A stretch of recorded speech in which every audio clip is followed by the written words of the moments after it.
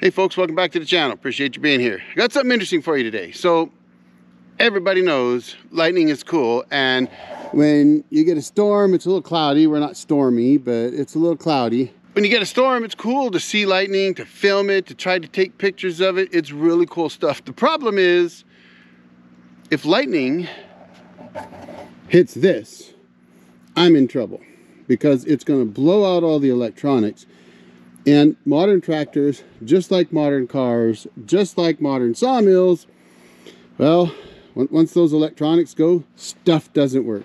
In fact, even right now, my rear PTO is not working, and I suspect I probably have one of these guys in here is probably bad and it needs to get replaced. I've actually had to fix that already once. In any case, you know, a lot of people have never heard of the Carrington event. It happened in 1859. It was actually a massive called a coronal mass ejection or CME. It's like a monster solar flare. And it was aimed right at the earth, hit the earth, burned telegraph wires, all kinds of crazy stuff. In fact, it induced so much power that telegraph operators who figured it out early enough realized if they disconnected their batteries, it wouldn't blow their batteries up because they were hearing about batteries getting blown up already. They disconnected their batteries to protect the batteries. Well, what was interesting about that is that then they found they could actually send telegraph messages to each other without any power source in the system because the the electromagnetic pulse, the power that was provided by the, the sun's massive coronal mass ejection or solar flare, they're kind of the same thing, they're similar, was so much that it provided enough power on the telegraph lines, they could transmit back and forth. It was insane. Well, if that were to happen today, big problems, folks. Electronics is going to crash and burn. However, you can protect your equipment from EMPs, big solar flares, CMEs, whatever. You can protect them from even, God forbid, if you know some crazy person lights off a bomb in the atmosphere, nuclear bombs can do that, emit massive EMP. I'm not worried about that happening, but if lightning happens, guess what? These crazy devices can actually protect you from lightning. And they're called an EMP shield. The company's EMP shield. This is the 12 volt model that is for tractors and sawmills and anything that runs on 12 volts. Even my generator over there is going to get one of these guys. And not only can they protect you from lightning, and they do this actually by sensing the voltage across the battery terminals. And if the voltage is too high for the battery, so you've got above like 15 volts, 14.8 or whatever it's supposed to be, then it will redirect the power into the frame. So you, you take that green wire right there, you run it into a ground, and it just it all it does it's a it's a switch and all it does is it keeps kicking that power over to the frame which is your ground and in this case with a bucket on the ground it's going to go right to the ground. And once the power dissipates then the system's available for use again. Now of course lightning hits this thing close enough it's going to blow that up it's just going to completely blow it up however what they found is that if those get blown up by lightning they generally protect the equipment that you're trying to protect with them. Now, here's the interesting thing. If they don't, right? Because everybody's going to say, yeah, but if lightning blows up your tractor, you're done. The tractor's toast and you're SOL. However, EMP Shield guarantees their product with a $25,000 guarantee. So if your tractor gets hit by lightning and the EMP Shield doesn't protect it, they will warranty it up to $25,000 to repair your tractor. That's a heck of a deal. Now this tractor cost me 20 grand and it might cost me 25 or 30 now, but $25,000 is more than enough to replace all the electronics in the tractor so I can get it back running again. It's an awesome deal. I think they're fantastic. Now, full disclosure, though I did buy this device, I've paid for all my own EMP devices. I do have an affiliate program, so like a lot of YouTubers, you know the drill. I get a small kickback if you buy one. However, here's the deal. If you decide to get one, you get $50 off the price. Now, these are running, last I checked, at $389. That's kind of spendy, right?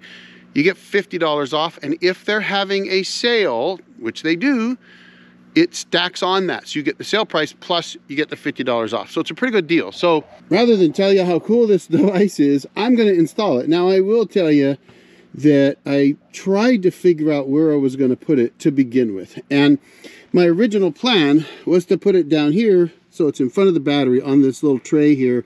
And I was thinking I might have to zip tie it in, even though it's got Velcro on the bottom and it's really strong. I've used it on my Jeep and my truck. It's It works good. But unfortunately, it won't fit there and it would interfere with the hood closing. So I won't be able to do that. What I am going to do is I'm going to Velcro it to this plate. And I don't have my drill bits with me, so we're going to Velcro it right onto that plate right there. And then hopefully it doesn't come off before I get back out here with some drill bits, drill some holes so I can put some screws in it to hold it down in place. I've done it with uh, on uh, batteries before, but this batteries is a little bit kind of different the way it's it's just not very big up top and it's not flat this is a nice flat surface so hopefully it's not too cold and I'll be able to mount it there and it won't fall off while I'm out running around in my tractor. If it does, I'll have to figure out another spot to mount it. I do have some big zip ties temporarily. If the Velcro doesn't work, I can zip tie it to the tractor and that'll hold it until I can drill some holes because right now I don't have any drill bits here because if you've watched any of my videos, you know I cleaned out everything from the cabin and I took it home because I said, this is a mess and I'm gonna bring the tools I need the next time I go to the cabin. Well, I also said if I didn't bring him, I'd just enjoy the weekend at the cabin. So guess what? We're going to do what we can here, and then we might just be enjoying the weekend. But I do have some milling to do, so I'll bring that to you too. So without further ado, I'm going to get this thing installed, and you get to see how silly and simple it is. The stuff is pretty strong glue that's on this thing, so I am hopeful that that is going to hold well. I just wish there were some holes right here that I could just run some zap straps right around it. And there may, well, there aren't. There's no way to do that. Okay, all right now, we need a ground. Oh, you know what? I have a ground right here. I am gonna have to zip tie. I will have to zip tie these wires up too. Hopefully you guys can hear me. I don't have my mic on that one, stick that right on there.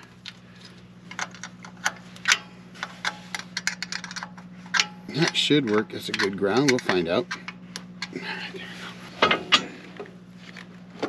I just saw something that I think might actually help prevent that from flopping around and it's kind of crazy but I think what I'm going to do is I'm going to zap strap those wires over there onto that upright because I don't put the sides on the tractor anymore on the engine compartment because that just encourages the rats and the mice to get in here. So rather than offer to give them a nice place to hang out, I don't put the sides on. That way they think that the hawks and things are going to come get them. All right, there we go.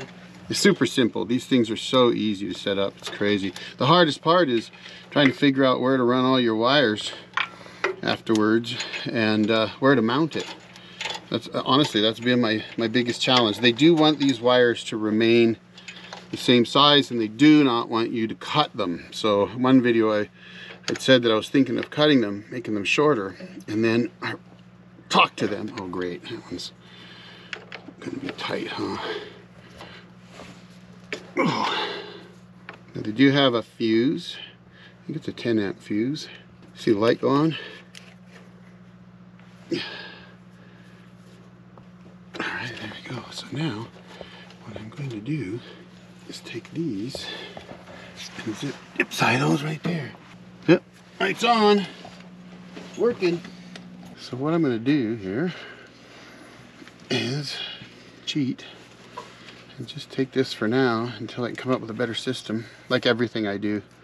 It's one thing I have to admit that I have a tendency to say, I'm gonna go like this for now. if I can find some snippers, that'll work fine. It's not the best way to do it, but for now, I'll have to clean those up. But out here in the middle of nowhere right now, I'll cut that off. And then, oh, sweet. Tim has something I can use. Look at that. All right, folks, well, that didn't take very long. Now, I'll be honest, I need to clean this up. We're out here in freezing weather and I don't have everything I need. This does seem to be solidly glued on here now, which is kind of nice, but my thought is I can drill some holes in here to anchor that better. I tried to do it over here, but it sticks up too high. I need a longer bolt to go through here. So I'll probably bolt it right here. And then these, I'll need to kind of clean those up in the future and come up with a little better system. But at least for now, if this did come off, it would be held by that right there so I could catch it in time. So for now, I'm gonna go ahead and leave it and we're gonna just find out how well that works. But it's super easy to install and you know what? I'm pretty happy with that because that's an insurance that I otherwise wouldn't have. And I've had trouble with, with uh, lightning before. I've actually have friends that have cabins in the woods that had their entire systems blown up by lightning and lightning arresters. They had some lightning arresters. It saved part of their equipment, but not all of it. So I've still got to install EMP for EMP shields for my solar panel setup, for my generator, and for my pump back there. So when I get those done, I'll bring that to you. I'm kind of doing it one at a time when I have time, but I got to get to milling today. So folks, that being said, I'll drop another video right here for you guys to check out. Appreciate you watching. I got to get to work. The old jarhead out.